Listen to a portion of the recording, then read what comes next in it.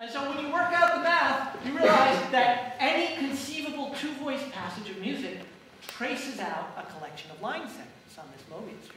So this provides us a way to visualize music. Conceivably, it provides us a way to design new, new musical instruments. You can imagine just pressing, creating a Mobius strip where you just press and get notes. And this is a space that is designed not for the performer's comfort, but for the theorist's and composer's understanding. I think of it as like a, a, mental gym where you can learn the deep structural principles governing Western music. And it's a Mobius strip, which means if you go off one edge, oh rats, you reappear on the other edge, just like in the old video games like Pac-Man or Asteroids. Uh, there's some dispute about whether this is true of Pac-Man, but it's definitely true of this Pac-Man. In asteroids, if you went off the top left of the screen, you reappear on the top right of the screen. But in music, you reappear off the top right, top left, and you reappear on the lower right. So it's as if this right edge was twisted before it was glued to the left edge. But there's more. This is not your grandmother's Mobius strip.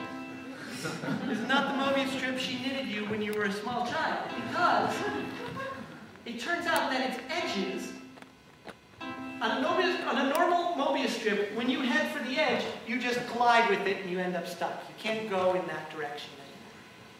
Because of the fact that this Mobius strip arises as a configuration space of two points on the circle, we have to represent its boundary as acting like a mirror. You can see why that is if you look on the circle. What I'm doing is I'm telling C and E to switch places. And clearly, halfway through, they retrace the configuration that they were in.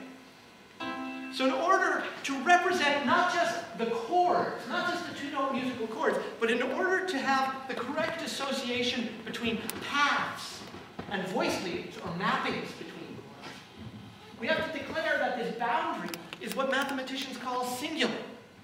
The boundary acts like a mirror. It doesn't have a Euclidean coordinate system. It's got a quotient of a Euclidean coordinate system. And so this means that all this newfangled math that's been developed in the last 50 years comes directly to bear on the problem of representing music in the most sort of conceptually rigorous way.